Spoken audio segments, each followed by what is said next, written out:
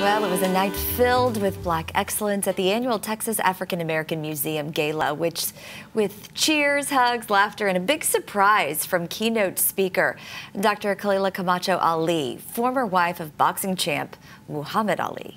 Our Ashley French was there and has a recap of Saturday night's history making event.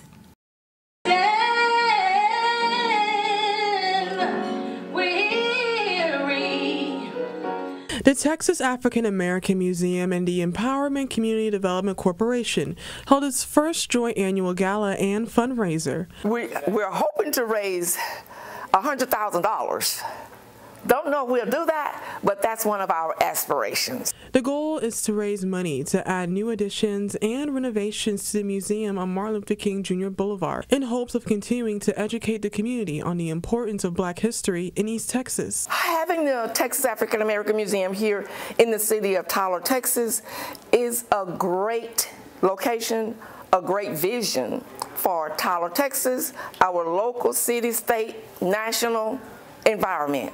It's not just Tyler, Texas. We incorporate artwork history from all over. One of the biggest moments of the night was guest speaker Dr. Khalilah Camacho Ali, who emphasized on the importance of learning from the past in hopes of a brighter future. I'm here to express is the fact that we need to know our history. We do not have a future without it.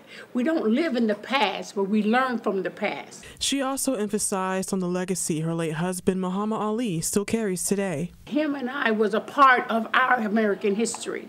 Uh, we went out, we served as a purpose for freedom and justice and equality. By the end of the night, Dr. Ali blessed the museum with a surprising donation. And all I can say before I make my speech, I am actually going to donate $1 million to the Texas African American This is the education of our future children.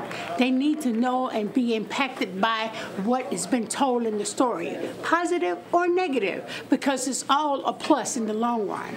Reporting in Tyler, I'm Ashley French for CBS 19. That was incredible. Incredible. And the surprise, she said, Gloria said that she was hoping for 100,000. Come on with the 1 million. That's right. Blessings on blessings. Love it. We'll be right back.